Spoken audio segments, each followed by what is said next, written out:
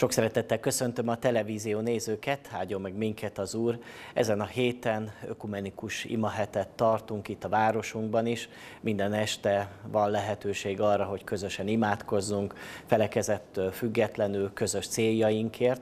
Ezen a héten az ökumenikus imahét témáját egy afrikai ország, a Burkina Faszói keresztények állították össze, akik hát nagy szegénységben és kisebbségben élik az ő hitüket, ugyanakkor nagyon lelkesek és nagyon összetartóak az ottani keresztények, és a hét témájaként egy új szövetségi példázatot adtak elénk, és ennek a példázatnak az ige verseit imádkozzuk végig egész héten.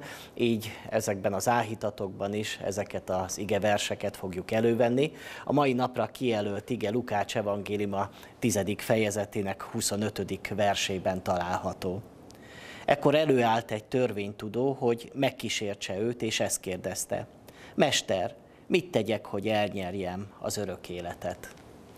Ez a törvénytudó ember a legfontosabb kérdést tette föl Jézusnak.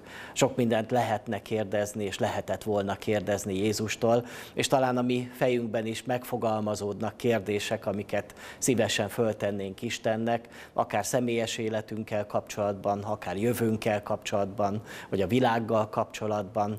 Lehet, hogy vannak olyan kérdések, amik arra vonatkoznak, hogy bizonyos dolgokat nem értünk, hogy miért úgy történnek a világban, de ez a törvénytudó az emberiség és talán mindegy egy egyes személynek a legfontosabb dilemmáját hozta Jézus Krisztus elé, hogy mi történik az emberrel a halála után, ugyanis ennek a kérdésnek a megválaszolása egyben értelmet is ad a földi életnek hogyan kell cselekednünk, hogyan kell élnünk ahhoz, hogy örök életünk lehessen, hogy halálunk után a mennybe kerülhessünk.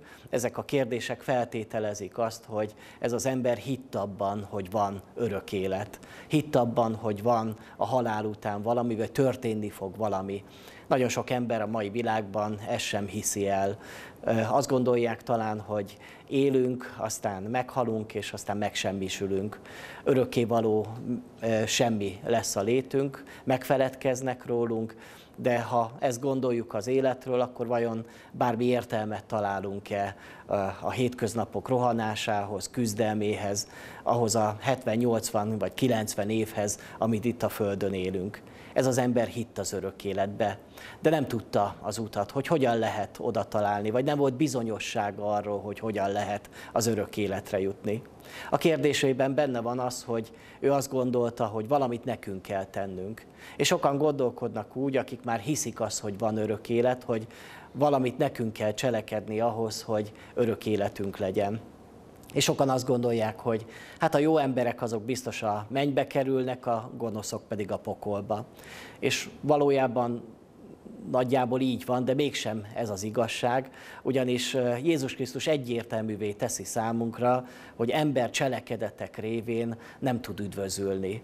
Képtelen az ember arra, hogy egész életén át Istennek tetsző életét éljen, mert ott van az életünkben, a testünkben, a vágyainkban, a gondolatainkban a bűn, ami megfertőz mindent. Éppen ezért kellett Jézus Krisztusnak eljönni erre a világra, éppen ezért kellett meghalnia a kereszten, hogy eltörölje a mi bűneinket. Az üdvösség tehát nem cselekedetekből van. Nem tudjuk azt kiérdemelni, nem tudunk elég jók lenni ahhoz, hogy végül a mennyországba kerüljünk. Így ennek a törvénytudó embernek a kérdése, az félrevezető, és majd éppen a Jézus válaszában található meg az, a, az az igazság, hogy az embernek szüksége van az Isten kegyelmére, Isten megmentésére. Alapvetően ő a jó samaritánus, aki felemel bennünket, aki bekötöz bennünket, és aki meggyógyítja az életünket, és megvált minket a mi bűneinkből.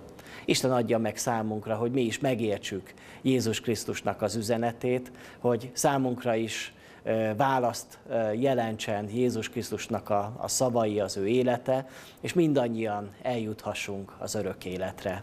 Amen.